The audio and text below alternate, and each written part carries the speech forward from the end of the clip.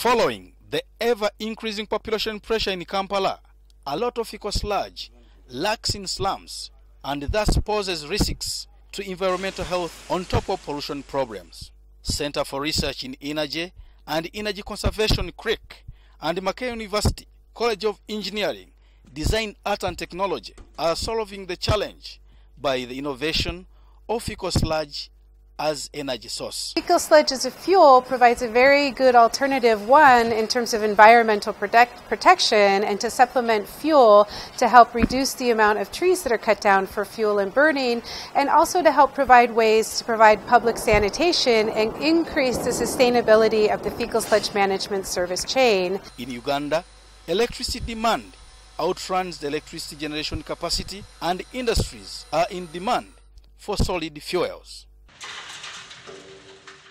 In Kampala, Sandec and its research partners are building on the results of the project by investigating the viability of co-processing fecal sludge and other biowastes to produce fuel pellets and subsequently electricity through gasification. We first do the manual mixing from the tarpaulin, then from there we get the fecal sludge and pour it in our machine here, which is the pelletizing machine. Fecal sludge is squeezed through this part, which is the extruder, after which it passes through the nozzle and it comes out in form of a pellet. The Sludge to Energy Enterprise project established a pilot scale research facility at National Water and Sewage Corporation in Lubigi wastewater and fecal sludge treatment plant, where market research is conducted to provide reliable data aimed at market implementation of technologies and the end products.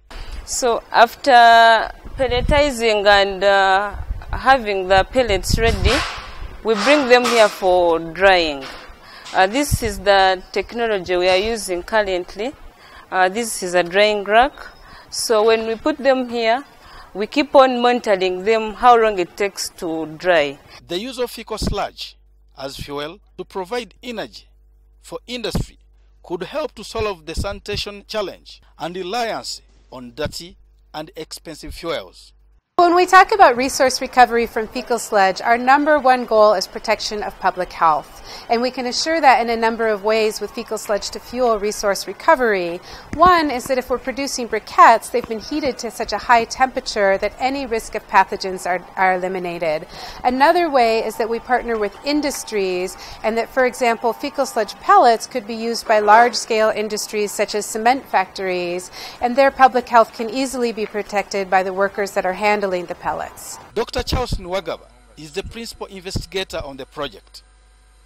He calls upon the public to utilize the enterprise. As researchers, we are very much aware of the social and the cultural issues and taboos regarding the use of um, fuel from fecal sludge. And that's why, actually, in the first place, we started by uh, looking at a route in which it can be used in industrial applications, especially those which are not dealing in food production. However, the investigations that we have performed have also shown us that these briquettes and the pellets that are produced from fecal sludge do not smell. In other words, uh, in some cases where people have used them without telling them the source, they can't tell whether the source is, uh, um, is, is fecal sludge or even any, any other organic substrates.